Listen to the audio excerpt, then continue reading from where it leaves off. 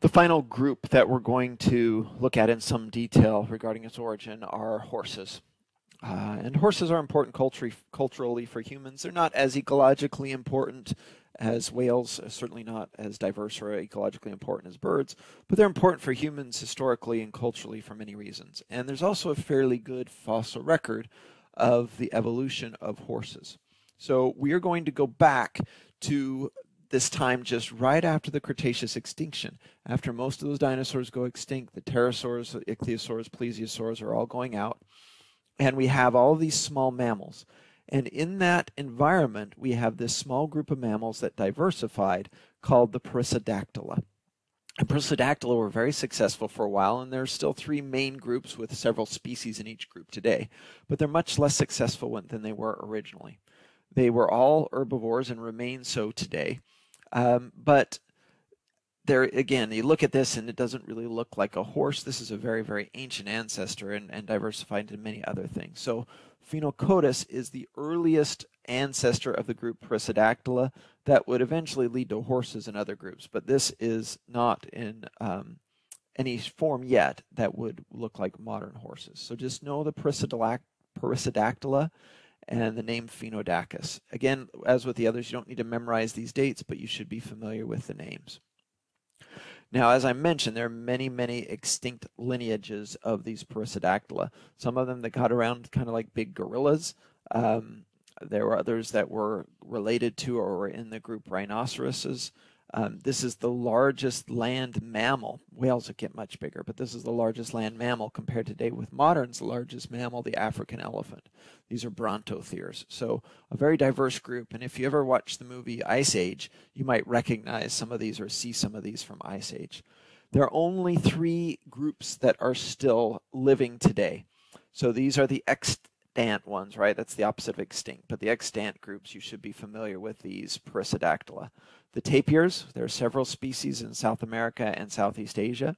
The rhinoceroses, which are Asian and African in distribution, and there are several species, many of which are highly endangered today, but they're still around. And then the horses. Now, this is including wild, all wild horses, including Przewalski's horse, which is where our domesticated horses came from. It includes zebras, uh, wild onagers. Uh, look that up if you're not familiar. You don't need to know it, but and donkeys and, and asses are all part of this, what we would call modern horses. And again, there are several wild species, and then we have our domesticated horses that humans have for thousands of years bred and directed the evolution into useful work animals um, and service animals, and maybe even argue companion animal. But um, they're quite different from their ancestors. Although you look at it, the wild ones, you say, yeah, it's a horse. Okay, so the earliest thing that we would call horse from this horse record is Eohippus. Hippus is the Greek root for root word for horse. Eo means dawn. So this is the earliest horse that we know of from the fossil record. And this is an artist's interpretation of what it may have looked like. Notice the differences between modern horses. It had four toes. You can see them up in the forelimbs very easily. It had teeth that were modified for grazing, but not nearly as specialized as modern horses, which are very highly modified for a grass diet. And then finally, it was much, much smaller. This is about the size of a large cat, small dog. So this was around 55 million years ago. Now we're, again, 10 million years or so after the extinction of the dinosaurs.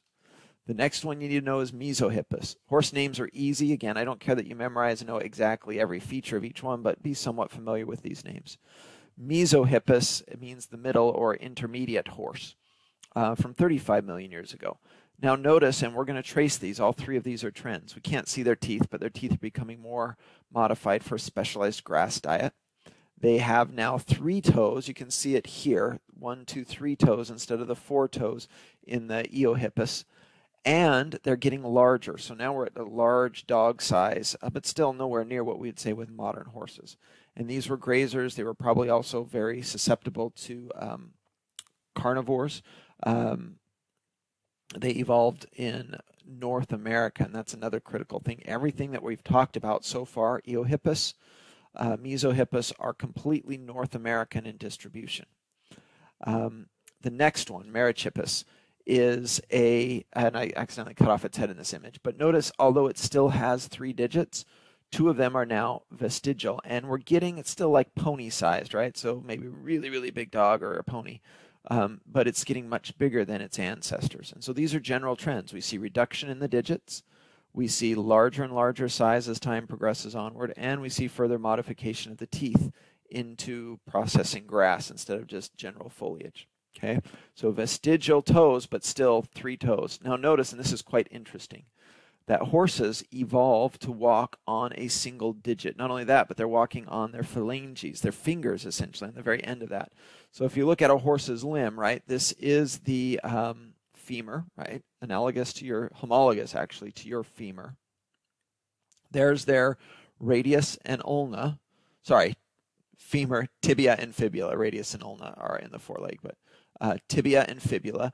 And then these are their wrist bones, essentially, right? So that would be the equivalent of your wrist, is right there. And wrist bones, and then phalanges, finger bones. And the early ones walked on four fingers, but now this guy's walking on just that one single middle uh, finger. So horses are really, really highly modified. And this is one of the reasons why, uh, as we breed them to get stronger and faster, that often they have quite severe injuries, is because they've kind of been pushed to the limits uh, physical limits of what they can support on that one digit. Okay, Pliohippus is the last fossil horse we're going to look at. Uh, he comes from about 10 million years ago, so very, very similar and close to modern wild horses.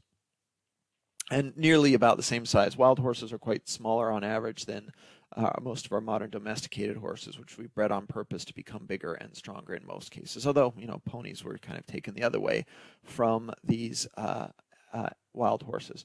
And today we have wild asses and donkeys, we have several species of zebra, and a, a handful of wild horse species, of which we have domesticated those.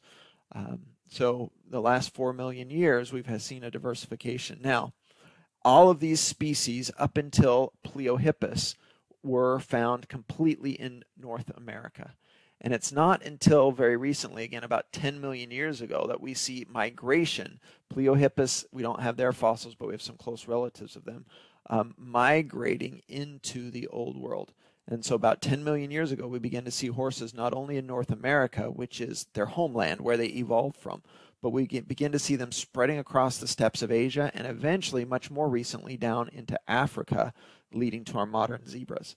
And this is uh, an important concept because uh, horses in North America eventually went extinct. And so by the time humans began to come into North America, the horse was on its way out and, and may have even been extinct before humans got there. Or humans may have hunted and helped hunt horses to extinction in North America. There's uh, not enough data to have a very clear answer on that. But eventually, horses go extinct in their homeland of North America, but they maintain species across Asia and down into Africa.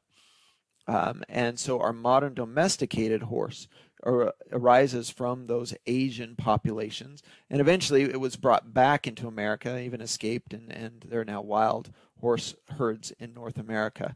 And just this kind of very romantic idea of Native Americans riding around on horses, right, or, or hunting or fighting on horseback. That was true. They adopted the horse very readily, but it wasn't until Europeans brought the domesticated ones back to America after they had been extinct in America um, from for uh, millions and millions of years. And most likely the horse was gone. Uh, records of American, um, I'm sorry, of of humans in America go back now about uh, some people push it back as, as far as 18,000 years ago and almost certainly the horse was gone although there again may have been a little bit of remnant species that that humans helped to hunt and push out, but uh, it doesn't seem to be a major um, factor in their extinction.